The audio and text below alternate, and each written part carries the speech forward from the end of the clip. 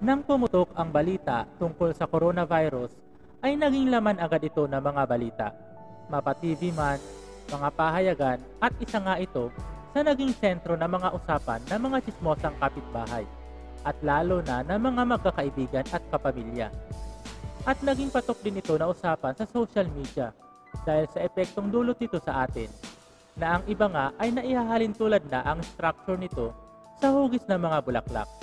At alam naman natin na sa mundo ng kalikasan ay marami talagang makikita na mga bagay na magkakahugis, lalo na ng mga bulaklak.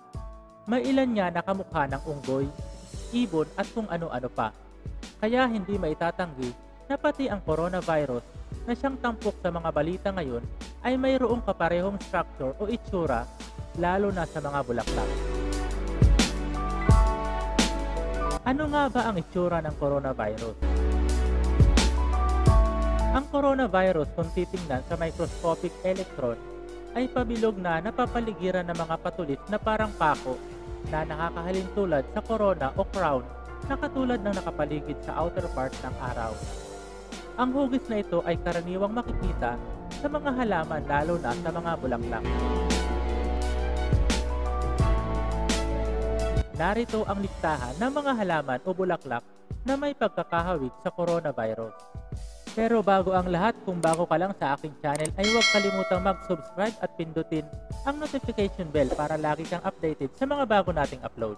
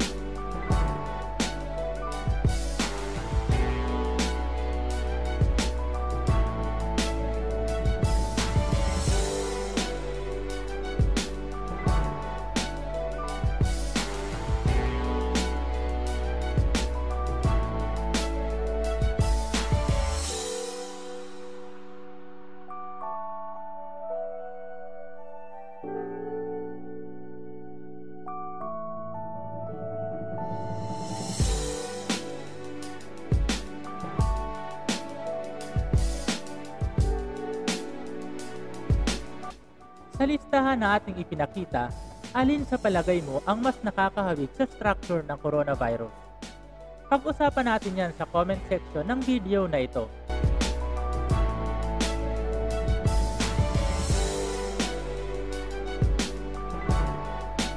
Ito po si UCL. Salamat po sa panonood.